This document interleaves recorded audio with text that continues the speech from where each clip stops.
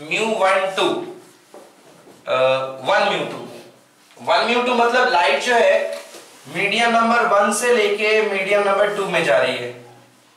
Medium number one से medium two में जा रही है, इसको बोलते हैं रिफ्रैक्टिव इंडेक्स में। Refractive index of second medium with respect to second first medium refractive index of second medium with respect to first medium, that is equals to mu 2 divided by mu 1 1 mu 2 equals to mu 2 divided by mu 1 equals to refractive index of second medium.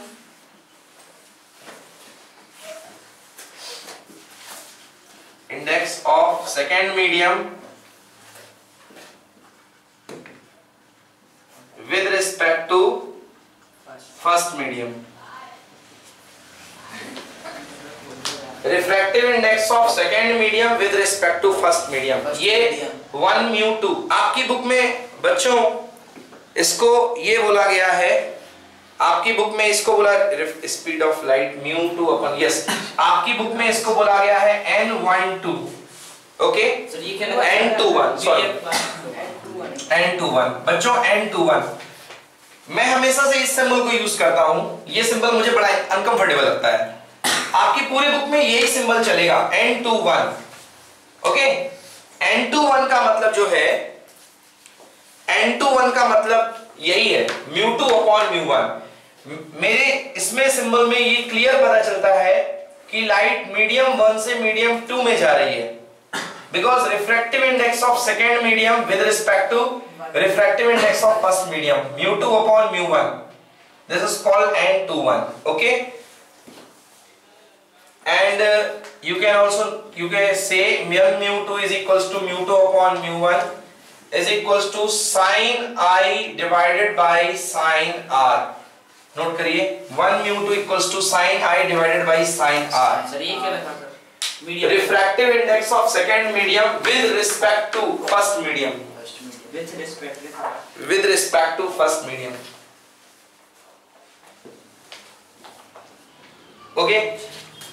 ये अगर आप समझ जाते हैं इस paragraph को तो आपका चैप्टर बहुत इजी लगने लगेगा आपको। आपको ये बनने लगेगा। Second N one two N two one again N two one equals to one mu two equals to mu two by mu one is equals to v1 upon v2 v1 upon v2 v1 upon v2 v1 upon v2 equals to velocity of light. Velocity of light in first medium divided by velocity of light in second medium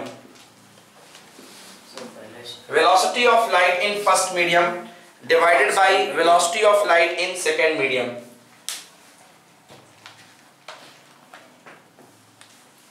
okay okay? तो देखिए यहाँ से हम reflective index की definition बता सकते हैं what is reflective index बच्चों refractive index is defined as the ratio of velocity of the light in first medium to velocity of light in second medium. एक तो आपके पास वो तरीका था what is refractive index it is the ratio of sine of angle of incidence to sine of angle of refraction फिर से बोलूँगा 1 म्यू 2 कंफ्यूजन बहुत ज़्यादा है, मेरे को भी समझ में आ रहा। है एक तरफ़ 1 म्यू 2 है, एक तरफ़ n21 है, आपकी बुक में n21 चल रहा है, और मैं बता रहा हूँ 1 म्यू 2 बिकॉज़ 12th क्लास में आपको 1 म्यू 2 आएगा सर 1 म्यू टू में आपको क्लियर समझ में आ रहा है। कैसे? वन म्यू टू लाइट एक से चल के दूसरे में पहुँच रही है। अब वहाँ n21 आप देखोगे तो उसमें लग रहा है लाइट दूसरे से चल के पहले में पहुँच रही है बट ऐसा नहीं है। ऐसा इसलिए नहीं है क्योंकि ये सिंबल इन लोगों ने बना लिखा है। N21 है सिंबल बट इसका मीनिंग वही है कि लाइट दूस, दूसरे में पहुँच रही है। किससे चल के वन से चल तो इसको बहुत अच्छे से आपको याद रखना है। One mu two is equal to mu two upon mu one and n two one is also mu two upon mu one. And yes mu is inversely proportional to v. mu is inversely proportional to v. Wait. mu is inversely proportional to v. मतलब mu v के inversely proportional है. तो यहाँ पे mu2 upon mu1 है तो अगर इस प्रोपोर्शनल को आप लिखोगे तो क्या लिखोगे? v1 upon v2 because inversely proportional है ना? तो mu2 के कॉरस्पॉन्डिंग टर्म v2 नीचे आएगा और mu1 का कॉरस्पॉन्डिंग टर्म v1 कहाँ आएगा? ऊपर। आएगा। आ रहा समझ में? Mu2 के corresponding term v2 mu is inversely proportional to v तो भाई क्या होगा? Mu1 upon mu2 is equal to v2 upon v1 ये तो हम पहले से ही पढ़ते आ रहे हैं ना। इनवर्स रिलेशन में उल्टा हुआ करता है। बस। अगर आपको सिंपल आप कहो pressure is inversely proportional to volume pressure is inversely proportional to volume अभी हमने ओम्स लॉ पढ़ा था ऐसे वन में। तो ऐसे वन में ओम्स लॉ था v प्रोपोर्शनल टू i. तो प्रोपोर्शनलिटी में जैसा v1 ये v1 equal to i1 and v2 equals to i2 मतलब v1 upon v2 equals to i1 upon अब भाई ये प्रोपोर्शनल है हाँ। तो वैसे ही चलेगा। इनवर्स प्रोपोर्शनल है तो उल्टा चलेगा। P1 upon P2 is equals to V2 upon V1 आया समझ में? ये इनवर्स है। इसलिए उल्टा आएगा। आ रहा समझ में? कोई टेंशन इसमें? तो ये हमारे पास mu2 upon mu1 equals to v1 upon v2 तो आपसे मैं पूछूँगा रिफ्रैक्टिव इंडेक्स की डेफिनेशन बताइए। आप बता सकते हैं। Sir it is the ratio of the sine of angle of incidence to the angle of refraction simple एक डेफिनेशन मैं बोलूँगा नहीं नहीं मुझे वेलोसिटी के टर्म में डेफिनेशन बताइए। Okay sir sir the velocity of the light in first medium the ratio of the velocity of the light in first medium to velocity of the light in second medium is called refractive index any problem student 1 mu 2 equals to mu 2 upon mu 1 equals to v1 upon v2 the velocity of the light in first medium to the velocity of the light in second medium. ये हमारे पास ये rule रहेगा। और एक और relation में लिख रहा हूँ वो बहुत काम का है उस रिलेशन को लिखने के बाद मैं और डिटेल में बात करूँगा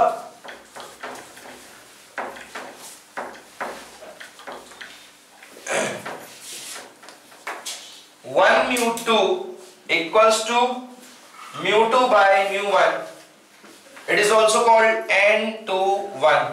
Yes or no? Yes, sir. n to 1 is equals to v1 upon v2 बच्चों equals to lambda one upon lambda two okay this call lambda one upon lambda two lambda means wavelength one wavelength of light in first medium to the wavelength of light in second medium अच्छा आपको ये याद हो चुका है कि refractive index और velocity में क्या रिलेशन है? याद हो चुका कि नहीं याद हुआ? हाँ। डायरेक्ट रिलेशन है कि इनवर्स रिलेशन इनवर्स रिलेशन है। अगर आपको भूल रहा है तो मैं आपको याद करवा सकता हूँ। चलो मान लो आपको एग्ज़ाम में याद नहीं आ रहा है। आप बस ये लिख करके बैठे हुए हो कि mu one upon mu two पता नहीं क्या होता है। Sir v one upon v two होता है कि v two upon v v होता है है ना? होता तो v two upon v one अभी अपन को याद है। हाँ। एग्ज़ाम तीन महीने बाद है। देखो आप हाँ आप भूल जाते हैं अपन। तो अब ये हिसाब लगाओ बच्चों। भाई रिफ्रैक्टिव इंडेक्स मतलब मीडियम का गाढ़ापन। सीधी बात मैंने बता दी आपको। रिफ्रैक्टिव इंडेक्स मतलब मीडियम का गाढ़ापन। अब हमारे सामने दो मीडियम दे दिए गए बच्चों। एक दे दिया गया है पानी और एक दे गया है शक्कर का स्विमिंग पूल एक है पानी का स्विमिंग पूल इसमें शक्कर का सीधा भरा हुआ है ओके गाढ़ा है सर। ग्लूकोज इसमें बच्चों ग्लूकोज भरा हुआ है बिल्कुल गाढ़ा ठीक है ना? और ये इसमें वाटर है। हाँ तो ठीक है ना? अब तो तुम्हारी बारी लग रही मुझे। कॉमेडी छोड़ोगे नहीं? बस तो water and glucose water and glucose ये हो गए। अब मुझे बताइए कि आपकी ये है मीडियम म्यू वन ये है मीडियम म्यू टू। ठीक है ना? रेयरर कौन वाला? सर ऊपर वा- ऊपर वाला रेयरर। मतलब मीडियम आप म्यू वन से लेके म्यू टू में जा रहे हो। अच्छा अब बताओ हमारी जो वेलोसिटी है वो किसमें तेज होगी? पानी में। कि ग्लूकोज में? पानी में। पानी में। मतलब रिफ्रैक्टिव इंडेक्स है कम तो वेलोसिटी है ज़्यादा। देखो म्यू1 का रिफ्रैक्टिव इंडेक्स कम है ना? म्यू1 का रिफ्रैक्टिव इंडेक्स कम है। किससे? म्यू2 से। क्योंकि म्यू1 मतलब पानी का रिफ्रैक्टिव इंडेक्स और म्यू2 मतलब ग्लूकोज का रिफ्रैक्टिव इंडेक्स तो शक्कर के सीरे का रिफ्रैक्टिव इंडेक्स ज़्यादा है। और अगर वेलोसिटी की बात की जाए तो ये मैंने लिखा v1 और ये मैंने लिखा V2 बताओ किसकी वेलोसिटी ज़्यादा? V1 की कि V2 की? V1 की। V2 की कहाँ से ज़्यादा होगी भाई? V2 तुम ही बोल रहे हो दूसरे की तरफ़ देख रहे हो। अरे। हाँ इधर देखो V1 की वेलोसिटी ज़्यादा होगी। अब देखो मतलब रिफ्रैक्टिव इंडेक्स बढ़ता है तो वेलोसिटी क्या होती है? घटती है। मतलब mu is inversely proportional to v okay so mu one upon mu two is equals to v2 upon याद रहेगा? कोई दिक्कत? Now this is your relationship this is very important okay speed of light in first medium upon speed of light in second medium. बच्चों समझ में आ रहा है?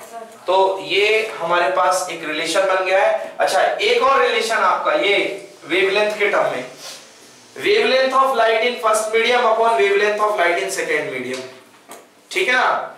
मतलब सिंपल बात हो गई। वही बिल्कुल केस हो गया। कि डेंसर मीडियम में आप बताइए आप मुझे। हाँ सर डेंसर मीडियम में लाइट की वेवलेंथ ज़्यादा होगी या कम होगी? ज़्यादा। बिल्कुल गलत। नहीं हो सकती है ना? डेंसर मीडियम में लाइट की वेवलेंथ कम होगी। देखो बच्चों इतने परेशान मत हो। इतना कुछ नहीं है अब क्वेश्चन में ही आना है। अभी ये देखो ना ये बिल्कुल इसके जैसा है। ये बिल्कुल इसी के जैसा है। Mu is inversely proportional to v. Mu is inversely proportional to lambda okay mu is inversely proportional to v and mu is inversely proportional to lambda ये बिल्कुल वैसे का वैसे ही है। V1 upon v2 lambda 1 upon lambda 2 मतलब refractive index ज़्यादा होगा तो वेवलेंथ क्या होगी? कम होगी ओके तो ये हो गया। ये डेफिनेशन आप बना लीजिएगा ओके सो रिफ्रैक्टिव इंडेक्स की ये सभी हमारे पास डेफिनेशन हो गई है। अब कुछ रिफ्रैक्टिव इंडेक्स हमारे पास बुक में दिए हुए हैं वो हम बता देते हैं आपको। सबसे ज़्यादा रिफ्रैक्टिव इंडेक्स हमें है डायमंड का 2.42 आपको मैंने बताया था डायमंड पढ़ाते समय कि डायमंड का रिफ्रैक्टिव इंडेक्स ज़्यादा होता है। मतलब ये लाइट लाइट को भयंकर तरीके से बेंड करेगा। लाइट अपनी मर्ज़ी से चली जाती है बट अपनी मर्ज़ी से वापस नहीं आती है। वो दस जगह टकराती रहती है। बताया था मैंने डायमंड के केस में। तो ये ये डायमंड के केस में। तो अगर आप बुक में देखें अपने टेबल बनी हुई है टेबल 10.3 में सबसे कम रिफ्रैक्टिव इंडेक्स है एयर का। ओके रिफ्रैक्टिव इंडेक्स सबसे कम है एयर का। 1.003 एयर के बाद बर्फ़ का है 1.31 फिर वाटर का अल्कोहल का केरोसिन का। ये सारे इसके रिफ्रैक्टिव इंडेक्स दिए गए हैं और इससे इनका ऑप्टिकल नेचर तय होता है। ओके ऑप्टिकल नेचर तय होता है। बच्चों, एक टर्म आपके मन में कभी कभी कंफ्यूजन आता होगा। आप ऑप्टिकल डेंसिटी को मास डेंसिटी समझ लेते होगे। जैसे अभी हमने आपको यही सिखाया कि जो मीडियम गाढ़ा होगा, उसका रिफ्रैक्टिव इंडेक्स हाई होगा। और जो मीडियम पतला होगा, उसका रिफ्रैक्टिव इंडेक्स कम होगा। मैंने आपको यही सिखाया ना कि जो मीडियम गाढ़ा होगा, उसका रिफ्रैक्टिव इंडेक्स हाई होगा, ज़्यादा होगा, और जो मीडियम पतला सा होगा, उसका रिफ्रैक्टिव इंडेक्स कम होगा। चलो बात करते हैं अपन, किसकी? केरोसिन की, मिट्टी के तेल की, पानी के साथ। आप थोड़ा सा मिट्टी का तेल एज्यूम करो, आपके पास है, और थोड़ा सा वाटर आपके पास है ओके आप मुझे ये बताओ मिट्टी के तेल में और वाटर में आपको डेंसिटी वाइज सर कौन गाढ़ा लगता है? सर वाटर, मैं क्या पूछ रहा हूँ मेरी बात का जवाब दो। आपको डेंसिटी वाइज अच्छा जिस जो आप डेंसिटी को जो आप समझते हो डेंसिटी मतलब सिंपल गाढ़ापन जो आपके नज़र में है। बताइए कौन गाढ़ा दिखता है? पानी या केरोसिन केरोसिन। मुझे तो कभी केरोसिन गाढ़ा नहीं दिखा ऑप्टिकल डेंसिटी पानी। हमेशा केरोसिन की तुलना में थोड़ा लेंदी होता है भारी होता है। क्योंकि सर वो जब केरोसिन में जाता है सर वो फ्लोट करता है ना। केरोसिन फ्लोट करता है। हाँ, करेक्ट कौन फ्लोट करता है? केरोसिन फ्लोट हाँ करता है। वेरी गुड बिल्कुल सही एग्जांपल भाई केरोसिन फ्लोट करता है मतलब केरोसिन की डेंसिटी कम है और पानी की डेंसिटी ज़्यादा है। ज़्यादा है। पानी की डेंसिटी ये जो जिस डेंसिटी की हम बात कर रहे हैं ये है मास डेंसिटी ये कौन सी डेंसिटी है? मास डेंसिटी मतलब उसके वज़न के हिसाब की डेंसिटी है ये मास डेंसिटी अब आप अगर ऑप्टिकल डेंसिटी की बात करो आप जरा टेबल में देखिए। अभी हमने क्या बताया? वाटर की डेंसिटी हाई है और केरोसिन की डेंसिटी कम है। अब जरा टेबल में देखिए। टेबल में देखिए वाटर की ऑप्टिकल डेंसिटी कितनी है? यस 1.33 मतलब वाटर का रिफ्रैक्टिव इंडेक्स है 1.33 और केरोसिन का रिफ्रैक्टिव इंडेक्स कितना है? 1.44 म्यू केरोसिन इक्वल्स टू 1.44 इस लिहाज से इस तरीके से बताइए किसकी डेंसिटी ज़्यादा है? समझ गए? बच्चों ये ऑप्टिकल डेंसिटी है। कौन सी डेंसिटी है? ऑप्टिकल डेंसिटी ऑप्टिकल वो जो आप पढ़ रहे हो वो मास डेंसिटी है। हाँ मैं मानता हूँ बहुत कुछ ज़्यादा सिमिलर है। मतलब एग्जैक्ट सिमिलर नहीं है, है? एग्जैक्ट सिमिलर नहीं समझना कि जो भारी होगा वही लाइट को ज़्यादा बेंड करेगा। कुछ केसेस हैं जैसे पानी और मिट्टी के तेल में। एग्ज़ाम्पल के लिए मैं आपको बना देता। बच्चों यहाँ पे वाटर है यहाँ पे केरोसिन ऑयल है। बताओ कौन सा डेंसर कौन सा रेरर आप सीधे बोल देते सर वाटर डेंसर होगा और केरोसिन रेरर होगा. आप वाटर में अपनी उंगली डिप करके देखिए ना और केरोसिन में डिप करके देखिए। वाटर में आपकी उंगली थोड़ा टाइम लेके जाएगी। केरोसिन बड़ा पतला हुआ करता है। मगर ऑप्टिकली कौन भारी होता है? केरोसिन ऑप्टिकली केरोसिन भारी होता है। मतलब ये बन जाएगा रेयरर और ये बन जाएगा ओके ऑप्टिकली केरोसिन भारी होता है। तो अगर रेस जाएगी तो ये रेयरर टू डेंसर की ओर जाएगी। इस तरीके से। बेंड टुवर्ड्स द नॉर्मल आई बात समझ में? सो so, ये रेयरर टू डेंसर जाएगी। नेक्स्ट तो इसका टेबल का हमको ध्यान रखना है। Now we have the questions हमारे पास कुछ क्वेश्चंस दिए गए हैं। ठीक है ना? पहला क्वेश्चन है a ray of light travelling in air enters obliquely into the water does the light bend towards the normal or away from the normal bend, bend, bend yeah bend towards the normal of, of course because density of air is minimum 1.003 okay so ये light जो है हमारे पास rare to denser में जा रही है तो bend toward the normal next question light enters from air to glass having refractive index of 1.50 what is the speed of the light in glass if speed of the light in vacuum vacuum and air are same vacuum और air को आपको same मानना है, okay? चलिए बच्चों, देखते हैं। Question क्या कह रहा है?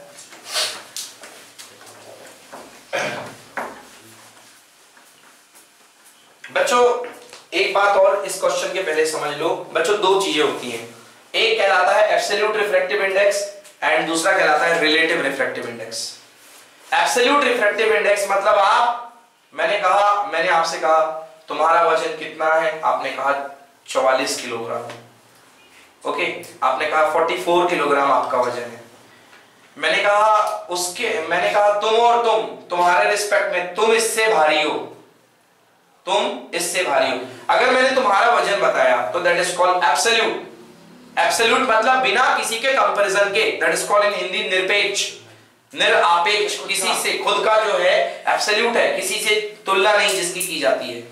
बट ऐसा तो है नहीं कि निरपेक्ष भी हो तो आपकी तुलना किसी से नहीं की जाएगी। आपका एक ना एक रेफरेंस तो होता है। मैं ज़ीरो से ऊपर आपका रेफरेंस बता रहा हूँ कि ज़ीरो के ऊपर आप 45 किलोग्राम हो। तो आपका वज़न ज़ीरो के ऊपर आया। एग्ज़ाम्पल मैंने कहा, सात्विक और सरजीत में सात्विक तुम सरजीत से दो गुना भारी हो। ये कहलाता है रिलेटिव तो ऐसे ही बच्चों, दो तरीके के रिफ्रैक्टिव इंडेक्स हुआ करते हैं। One is called relative refractive index and another one is called absolute refractive index थोड़ा सा हम इनके बारे में जानेंगे।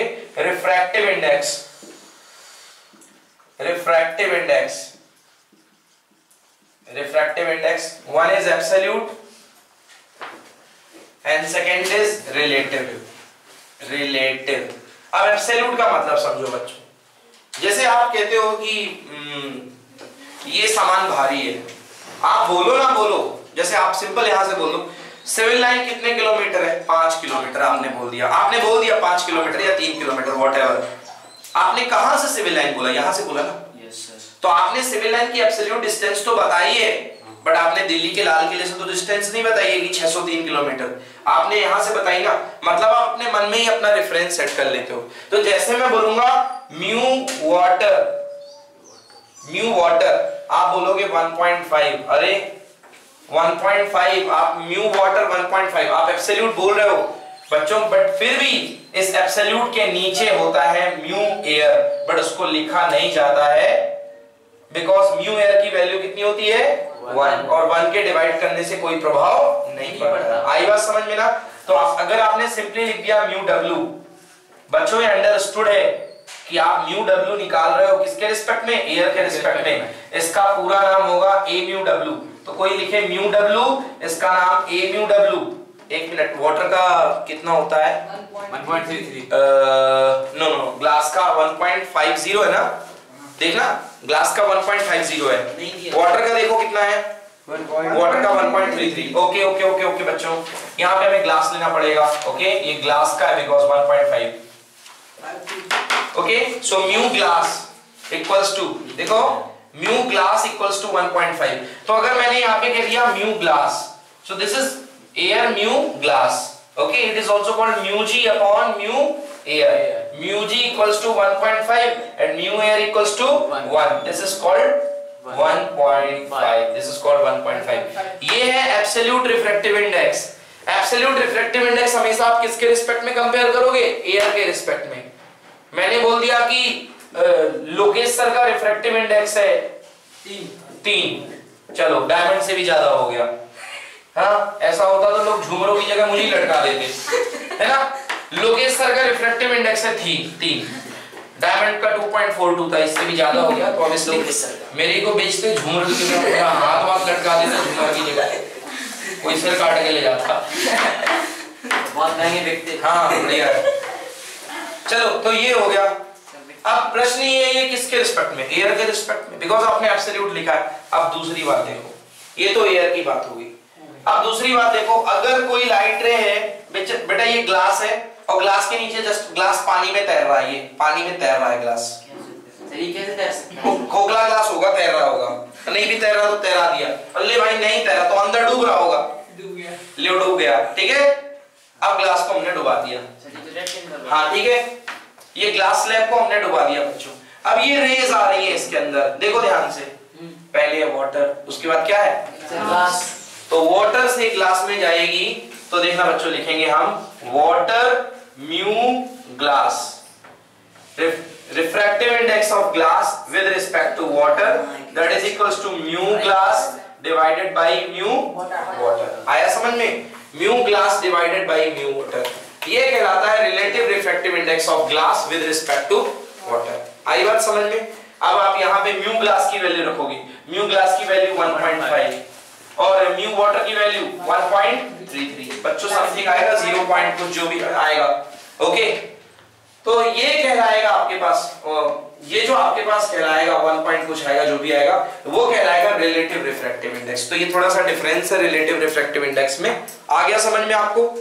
कोई प्रॉब्लम इसमें तो पूछिए प्लीज़ दो चीज़ें अलग अलग हैं, एक है रिलेटिव रिफ्रैक्टिव इंडेक्स और एक है absolute refractive index sorry reflective बार बार बोल रहा हूँ refractive okay absolute refractive index and relative refractive index बच्चों चलिए थर्ड तो सेकंड क्वेश्चन पे बात करते हैं।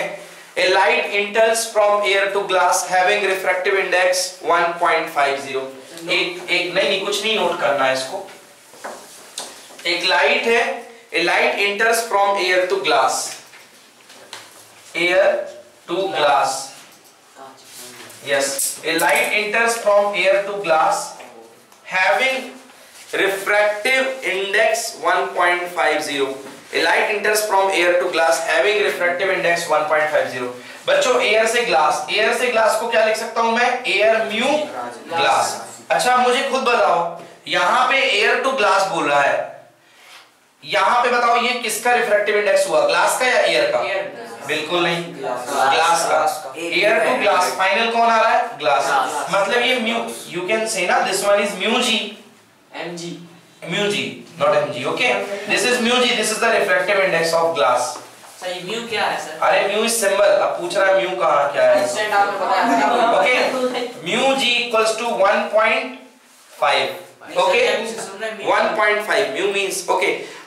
The speed of light in the glass the speed of light in vacuum is equals to, बच्चों दिया है v vacuum vacuum means air, equals to 3 into 10 की पावर 8 मीटर पर सेकेंड तो ये हमको बताना है कि इस, अब इनको बताना है कि बताइए ग्लास में स्पीड क्या होगी।